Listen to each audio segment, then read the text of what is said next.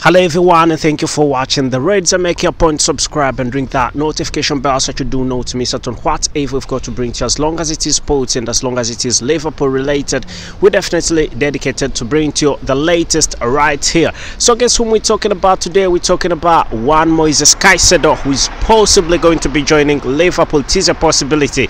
And uh, possibly uh, thank you for joining thank you for joining thank you for being part of this podcast. So uh, any ideas about Moises Caicedo? Anyway, first your names, please. Uh, Leonard O'Shea. Jamie O'Shea. Uh, Dylan O'Shea. Are they O'Shea's? All the Yeah, O'Shea's. okay, so uh, what have you got to say about Caicedo, about Moises? Great player, full of energy, box to box. Need a bit of energy in midfield at the moment. I think Jordan Henderson is playing great, but I think Caicedo is very athletic. Great player. Okay, Revive our midfield. Yeah. Put okay. a bit of spirit into it.